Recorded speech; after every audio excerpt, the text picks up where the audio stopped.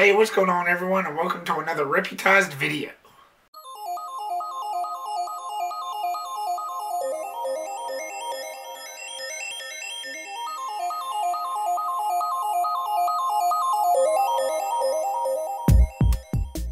Mile 22 stars Mark Wahlberg, Ronda Rousey, John Malkovich, Lauren Cohan, and Iko Uwais. It's all about this American intelligence officer played by Mark Wahlberg who gathers a top secret tactical command unit to smuggle this mysterious police officer with valuable information out of the country. Some of this movie was set in East Asia. It's basically a tactical op movie trying to protect this one guy because of some information that apparently the bad guys don't want to get out there. This this movie was pretty interesting. I I got to give you know the director Peter Berg. He's been doing a lot of movies like this here recently. Lone Survivor.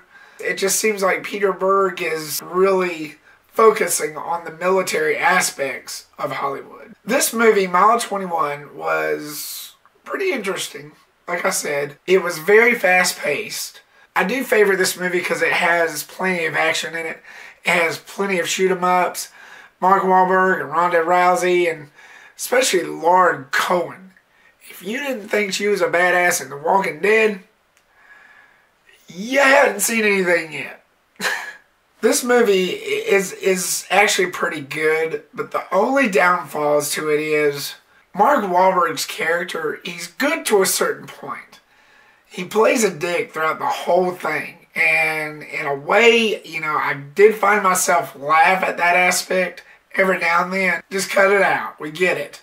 You're an asshole. And another thing that kind of got on my nerves, that kind of bothered me a little bit, was this thing that he kept on doing in his wrist. He had a rubber band around it, and I guess this was his own way of dealing, of coping with what he was going through. With like the only way he could deal, cope with everything was pain, but he would have a rubber band and like slap himself. He would do that constantly. There's a lot of pros in this. It does have a lot of action in it, and the, the story was well told. The music in it by Jeff Russo was pretty interesting. The pacing was really fast. I'm sorry, guys, I'm kind of all over the place here. But the cons, you know, the last cons I just mentioned to you about the rubber band thing and him being an asshole, the cuts in it. In some of the scenes, they, they would show like the cuts being real fast. On your left! Dougie, come right! Get right. Where's the signal? which I'll slow it down just a little bit. I call it half action cuts. I know that's not a clever name, but I can't think of any other word to describe it. Half action cuts.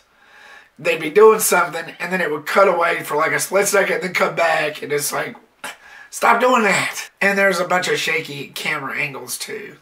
But other than that, the acting in it was fairly well. Like I said, Lauren Cohan was a complete badass in it. I really loved her character. And another downfall is the way it ended. I won't give anything else away, but it ended on a cliffhanger for me.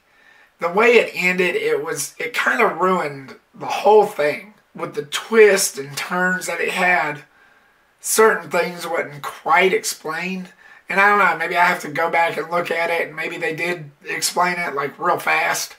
But it, it just, to me, it just wasn't much there. Overall, the movie was good for what it was.